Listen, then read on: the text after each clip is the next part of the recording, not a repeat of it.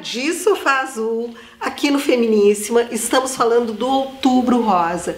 E eu espero que nessa, nesse quarto episódio do Outubro Rosa todo mundo já esteja conscientizado. E convencido a fazer os seus exames. É. Né?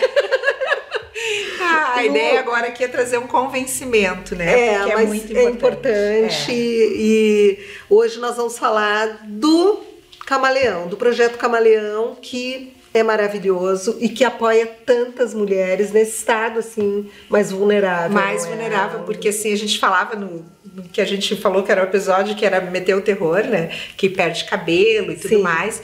E lá no Camaleão isso fica leve, porque é dividido com outras pessoas. Claro. E é criado, por exemplo, no dia de perder o cabelo, tem um quadro, como se fosse um quadro, vamos é. chamar assim, né? Que chama Carecando, uma atividade do Camaleão. Então, nesse dia, a, a, a mulher vai perder o cabelo, ela sabe, Sim. começa a cair, ela vai lá a agenda antes, né? De acordo hum. com o tratamento, a gente sabe quantos dias depois da quimio vai começar a queda. E aí raspa o cabelo, daí faz um evento lá, ganha uma maquiagem, mais apoiada. Um lenço, um voucher para gastar no brechó, porque o Instituto Camaleão é isso, assim, agora a gente está com a sede nova, que é na Protásio Alves hum. 2820. O brechó é uma ótima oportunidade também de comprar boas peças, assim, bacana. com um custo bacana também, então, uh, e que está dando muita visibilidade também por essa e nova... Qualquer pessoa pode mandar suas peças para o brechó? Pode mandar, pode mandar as peças para o brechó e aí é feita uma curadoria, né? Claro. Pelo pessoal do brechó. Então, o que não é aproveitado para o brechó é pra encaminhado para a PECAM, que também atende hum. pacientes com câncer, né? Então, é, é todo, tem toda uma logística, assim, muito organizada, né? Mas isso não é muito divulgado, não é, Lu? Uh, eu acho que sim, pelas redes sociais do Camaleão, né? Ah. E pelas redes sociais é, é divulgado e lá É, porque site. o que, que acaba acontecendo? As pessoas que seguem o camaleão são pessoas, são pessoas que, que normalmente sendo, é. estão em tratamento, não Isso, é? Exato. Mas eu digo para o grande público de como que as outras pessoas podem ajudar um projeto desses. E tem diversas formas. Pode ajudar doando roupas, doando tá. perucas, doando lenços, doando maquiagem. Pode ajudar sendo um doador recorrente, que é como a gente lançou uma campanha e que hum. no meu caso é isso. Pode doar lá todo mês, cadastra o cartão de crédito. Sim é um lugar muito sério em que realmente esses valores eles são administrados são de uma forma muito pro... responsável, né? Então, porque às vezes a pessoa acha assim, vai doar dinheiro, mas pode doar tempo, né? A ajudar claro. lá no atendimento, tem, uh, tem atendimento psicológico com nutricionista. Então dá para trabalhar como voluntário. Dá para trabalhar como voluntário tá. também. E no Outubro Rosa, essa campanha que dura o ano inteiro, o, qual é o objetivo?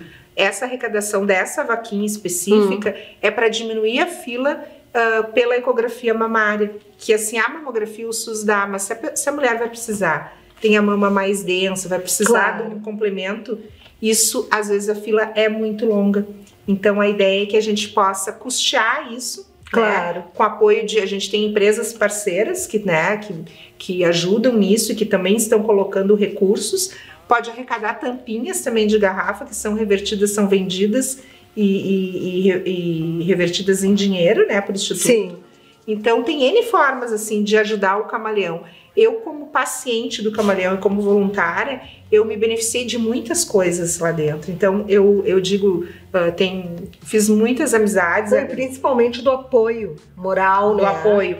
E que a gente tá lá no meio de quem, de gente como a gente, que sofreu claro. como a gente, né? Que também. E que vai te entender. Que vai entender vai mais, do linguagem, que, né? mais do que qualquer outra pessoa. Então, uh, uh, vai um beijo aqui pra Thay, eu queria ter convidado ela para ter vindo junto, mas a Thay é uma guria que ela diz o seguinte, ó, é também paciente de câncer de mama, né? Já, o câncer dela é um câncer que ela tem que hum. continuar tratando sempre, né? E ela diz que por onde ela vai, ela espalha a palavra do camaleão, né? Ai, então, então acho que é isso, assim, a gente aproveitar esse canal porque tu tem né, uma visibilidade Sim. tão boa com mulheres para também assim, bah, eu eu quero ajudar, como é que eu posso fazer? Com né? certeza. Então, eu a gente vai passar aqui o Pix, que pode ser também um Pix para essa causa de, Sim. enfim, das ecografias, né, para a gente uh, diminuir essa fila, né?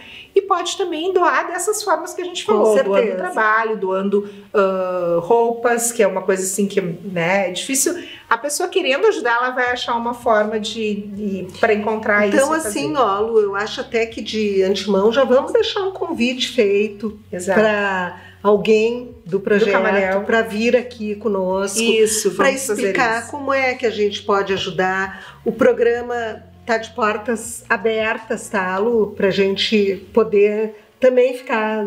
Uh, presente nisso e poder dar a nossa ajuda, não é? Ser parceiro nisso e, e vale a pena. as pessoas. Ajudam muitas pessoas, muitas pessoas mesmo. E agora, né, depois da pandemia, então, que começou um atendimento que é online, a gente tem uma abrangência até nacional. Que bacana, é, né? Então, é, com muitos parceiros bem bacanas aí. É isso aí. Então, assim, ó, fica aqui o nosso recadinho, né, Lu?